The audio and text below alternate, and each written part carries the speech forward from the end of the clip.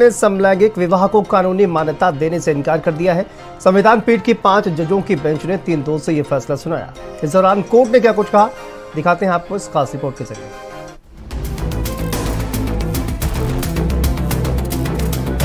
समलैंगिक विवाह को कानूनी मान्यता देने की मांग करने वाली याचिकाओं पर आज सुप्रीम कोर्ट ने अपना बहुप्रतीक्षित फैसला सुना दिया है। सीजीआई डीवाई चंद्रचूड़ संजय किशन कौल, रविंद्र भट्ट, हिमा कोहली और पी एस नरसिम्हा की अध्यक्षता वाली संविधान पीठ की पाँच जजों की बेंच ने तीन दो से फैसला सुनाते हुए समलैंगिक विवाह को कानूनी मान्यता देने से इनकार कर दिया है। बेंच ने कहा कि कानून समलैंगिक विवाह के अधिकार को मान्यता नहीं देता है। इसके लिए कानून बनाना संसद पर निर्भर है।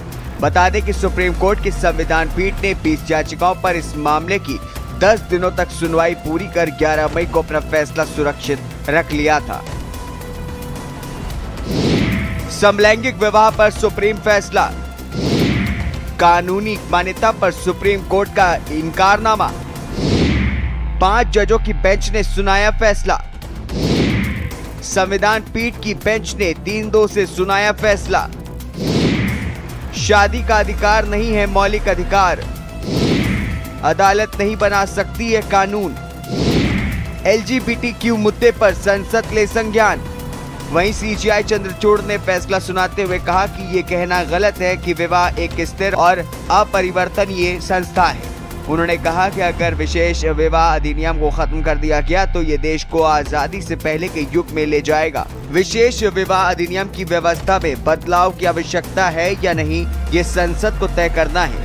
साथ ही उन्होंने कहा कि अदालत को विधायी क्षेत्र में प्रवेश न करने के प्रति सावधान रहना चाहिए। इसके अलावा पाँच जजों की बेंच ने भारत में एलजीबीटी समुदाय को शादी में समानता देने के अधिकार से मना कर दिया।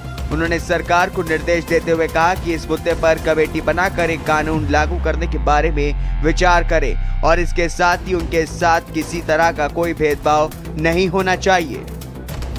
बहुत अच्छा सुप्रीम कोर्ट के जो हमारा स्पेशल बेंच ये था, उसने बहुत अच्छा डिसीज़न दिया जिसमें उन्होंने माना कि इस तरीके की सेम सेक्स मैरिज को रिकग्नाइज नहीं कर सकते।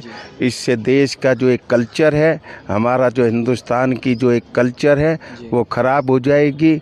इससे माहौल ख़राब हो जाएगा। यही सुप्रीम कोर्ट में भारत सरकार का व्यू था। वहीं सुनवाई के दौरान अदालत के सामने सरकार की तरफ़ से पेश हुए सॉलिसिटर जनरल तुषार मेहता ने कहा कि एक बायोलॉजिक पिता और माँ बच्चे पैदा कर सकती है। यही प्रकृति का नियम है। इससे छेड़छाड़ नहीं होना चाहिए। जिसके बाद तुषार मेहता ने न्यायालय से अनुरोध करते हुए कहा कि इसे संसद के ऊपर छोड़ देना चाहिए। ट्रांसजेंडर्स अगर आप खुद को आदमी मानते हो तो आप एक औरत के साथ heterosexual relationships between where one of them is transgenders वो उसकी uh, उसको असर्टन किया है उसके साथ साथ उन्होंने ये भी कहा है कि राइट टू एडॉप्शन एक्सटेंड होना चाहिए आ, तो मुझे ये नहीं लगता है कि हमने दो कदम पीछे लिए हैं मुझे ये लगता है कि हमें हमने एक कदम ज़रूर आगे लिया है कपल आइडेंटिफाई करते हैं तो वो शादी कर सकते हैं आज के डेट में। बट अगेन वो ट्रांसजेंडर जो हमारे फ्रेंड्स हैं, जो एक दूसरे को गेज या लेस्बियन कपल आइडेंटिफाई करते हैं, वो शादियाँ नहीं कर सकते। तो बेसिकली ये जो जजमेंट है, वो लेस्बियन गे और बाइसेक्सुअल कम्युनिटी के थोड़ा थोड़ा अगेंस्ट गया है इन अ वे बाकी ट्रांसजेंडर कपल्स के लिए this is a good victory and very positive step बहरहाल कोर्ट के इस फैसले के बाद सरकार के लिए मील का पत्थर हो गया है। क्योंकि समलैंगिक विवाह को कानूनी अधिकार देने के लिए सरकार को सैकड़ों कानून में संशोधन करना पड़ेगा। यूपी के